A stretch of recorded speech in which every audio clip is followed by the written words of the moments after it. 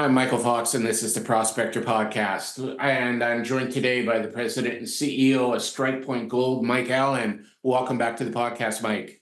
Thanks, Mike. It's it's uh, it's good to be here. Yes, I'm absolutely excited to have you. You had a fantastic news release come out yesterday. Uh, you've acquired uh, what appears to be a really good property at uh, cents on the dollar. And I'm sure there's a, a long story that's going to go with that. But before we get into that, I want to uh, give everybody an overview of what Strike Point Gold is first. Yeah, I, I mean, Strike Point Gold, we're we're uh, looking for precious metal assets in, in tier one jurisdictions. Um, so, what, as, as you alluded to, we just acquired what's called the Hercules project. It's in uh, in Nevada's Walker Lane. Uh, we also have what's called the Cuprite Gold Project, also in the in the Walker Lane, and then we have the Porter and Willoughby precious metals uh, uh, projects up in the in the Golden Triangle near Stewart, BC. Uh, it's a group of of, people that have, have, had successes in the in the mining industry, um, but we're dominantly focusing our, our efforts these days uh, in in Nevada and dominantly in the Walker Lane. Yeah, it's a good jurisdiction to be in. Nevada is a, a clean area. Uh, but this uh, this transaction, at least uh, from an outsider looking in, came out of left field. Um, you know, how how did you guys get this property, and how did this deal get done as quick as it did? Well, I mean, this is a, an asset that I, would worked before. Um, I did a, a company uh, years ago, and then we merged into uh, to another another vehicle and this project was sort of laid laying dormant for for a few years. This is this is Hercules, and and when we we had it, we we liked it a, a lot, and then there was an opportunity to to scale up, and that and that when that company that we that we merged into. Um, it's distressed and there, there's no other way to describe it and that's sort of been my my model over the years is is find companies that are distressed and pick out assets um, i did that with a uh, with an asset in, in Nevada called um, called Hasbrouck. I did that uh, when I created Northern Empire. We acquired the uh, the Sterling asset from Imperial Metals, and then this this time we were able to to pluck out out the Hercules Gold project out of a, a distressed company, and, and, it was essentially cents on the dollar on, of what we had done with it before. And so it's a, it was a really interesting deal, and it was quick because I'd already been there. I knew it and knew the the due diligence. Yeah, it was. Uh, you know, it went from um, being where it is to all of a sudden it's taken over, and and as as you say, cents on the dollars. Uh, they've done they there had been quite a bit of work done on this project already, yep. and you would think they would have gotten you know a lot more credit for it, but you know we're supposed to buy low. well, that is the trick, isn't it? Um, yeah, I, I, mean, when I had this project, we put 40 holes into it, and, some of the headline holes were actually some some pretty spectacular grades. 89 meters of 0.65 grams per ton gold with uh, 12 and a half grams per ton silver, starting at 27 meters down the hole. There's a another one, uh, 30.48 meters, 100 feet right on the nose 1.63 gold and 18 gram or 18.27 grams per ton silver. So I mean, these are these for Nevada. These are big numbers. And, and what I liked about the project is the scale of it. It's a it's an immense project. It's over 1,300 uh, claims, 100 square kilometers, uh, and it sh- covers off. I think it was. I think it's five named and drilled showings. Another 10 showings that have got geochem, geology, and geophysics done, and then we did a, a big uh, airborne survey back in the in the day. And there's about another 45 uh, targets that were identified by geophysics that we never got to put boots on the ground. So it is immense. It is district scale, and I think that that's what investors and and particularly you know when you're looking at at an exit, you're going to want to be going for you know somebody big to come in and be able to have a project that they can uh, they can wrap their, their hands around. I mean, that's what's worked for for me in the past. So, given the work that's been uh, been done on the project already, what what do we know about the project and what work needs yet to be done to uh, get an idea of of how big this project could actually become? Well, when when I had it before, we we thought that it had the potential to be a, a generational mine, And, and so when I say a generational mine, that that means that you know the parent goes and, and works at the at the mine, you know, mom or mom or dad working in the in the mine, and then the kid come comes along and is working there. It's it's the potential that that's that's the sort of skill that that we're that we're looking for here. In terms of, of, of what it is, it's uh, it is a you know a low sulfidation epithermal Nevada. It looks like it's a, a bulk tonnage uh, scenario with with some potential uh, high grade knots to it. Um, there was an intercept. Just looking at here, at six meters down the down the hole. Uh, there was three meters of just uh, 5.5 uh, grams per ton and an ounce and a half of of silver. So it can do pretty big numbers for for Nevada. So it's a it's a very interesting project, and as I said, lots to lots to to look at. We've got to get our our hands uh, wrapped around the the data since I left this project, there were new targets that were generated. So I've my next step after uh, after um, Beaver Creek is to get to site and under you know, sit with the geos and understand the new targets and start a, a prioritization for drilling. And how soon do you think you could be drilling on that property? Well, it's it's interesting because this is actually a, a really interesting point about this is it comes with three permits there is a, a permit, what's called a plan of operation, and, and I refer to those as the as the big boy permits.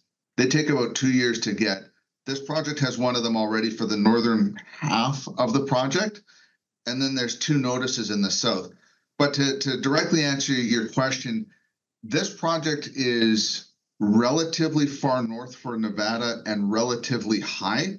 So it does get snow. And we get we we get into situations where you can work year round, but it's expensive. So if if we're just doing a, a, a, go in there early stage exploration program, can probably get something done before U.S. Thanksgiving. If not, it's going to be March uh, of next year. But once we get our, our our teeth into this thing and start a resource delineation drill program, we can go year round because there'll be multiple rigs and all the equipment, and you can fight with the fight the snow at that point in time. So the initial stages will be a lot of data crunching and, uh, you know, paper napkins and numbers. Pretty, pretty much that, that's it, it right now. I mean, it is, uh, it, it was a, you know, a sort of a big bite for, uh, for StrikePoint to, to take on.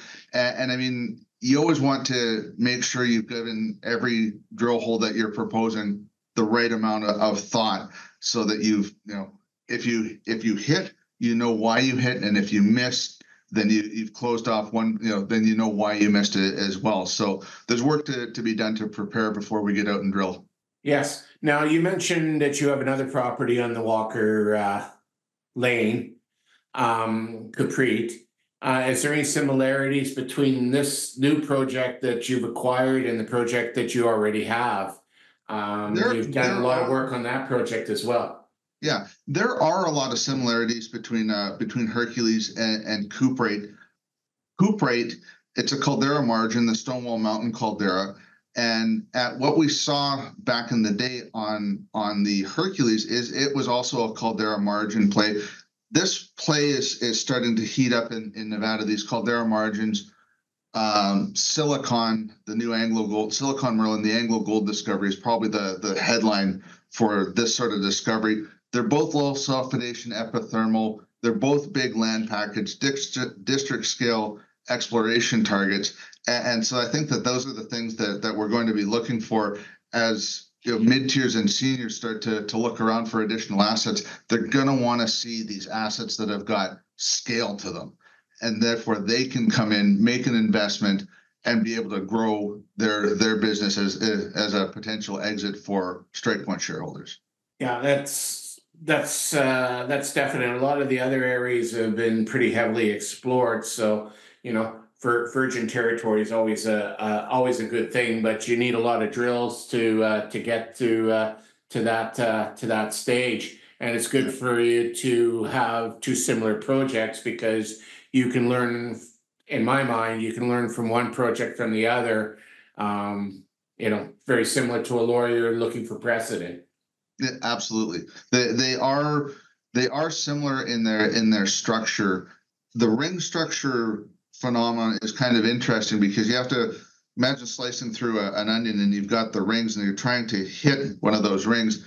If you draw a straight line to hit the rings, like when I cut a cut an onion out, you only get part of it. You have to curve around to to see all the all the structures. So that that knowledge guides your your drilling on both uh, both projects.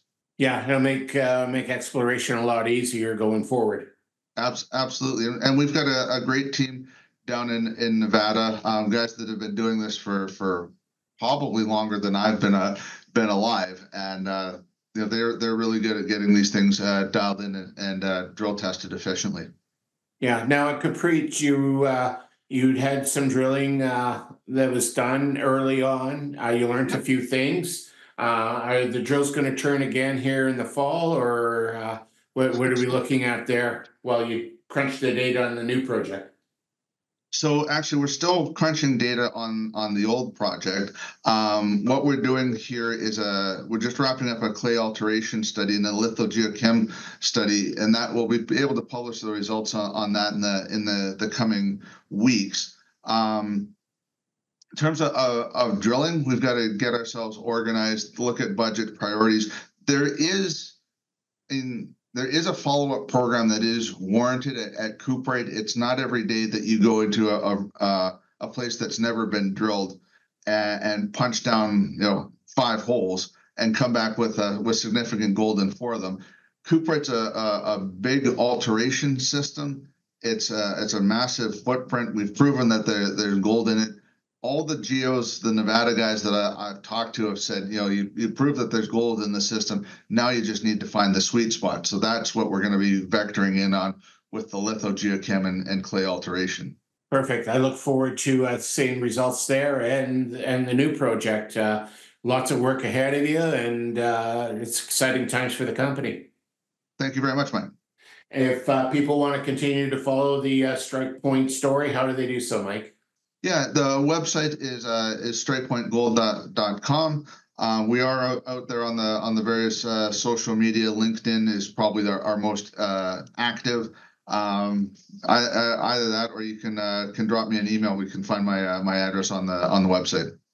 Yeah, and uh, one thing I can guarantee is Mike is very good at answering his emails. He's pretty prompt as long as he's not in the bush. So, uh, Thanks, uh, thanks for joining me, and I look forward to uh, watching this story uh, unfold. Okay, sounds good, Mike. We'll, we'll be talking to you soon.